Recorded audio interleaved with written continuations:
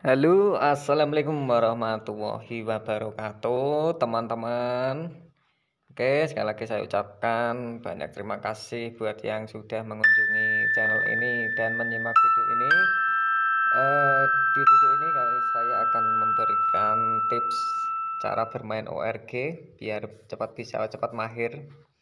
Oke, yang terpenting di sini kita harus setting ini dulu sudah sesuai apa belum ini?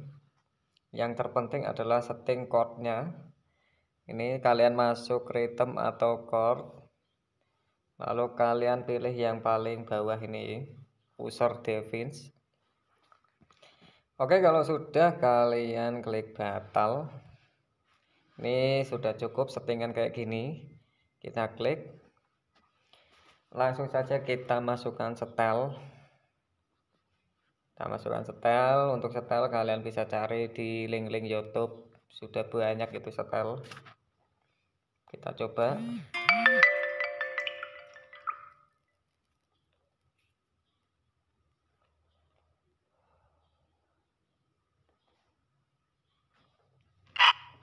Nah seperti ini. Ini sudah masuk setel.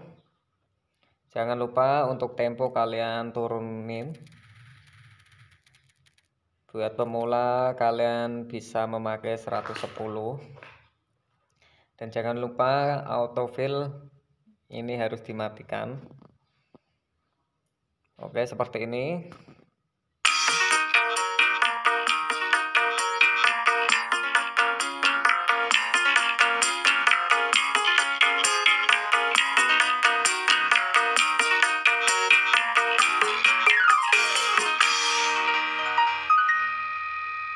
Oke buat teman-teman yang ingin setting chordnya kalian cukup mudah kalian masuk ke menu lalu kalian pilih chord. Kalian sesuaikan saja seperti yang di video. Ini adalah bentuk C minor. Ini D minor. Ini D mayor. Ini E minor ini E mayor. Dan untuk F F minor seperti ini. Dan untuk G. Dan untuk A minor. Dan untuk A mayor. Dan untuk nah ini enggak perlu karena kita mainnya di A minor Oke, sudah kita masuk e, cara belajar mengiringi lagu.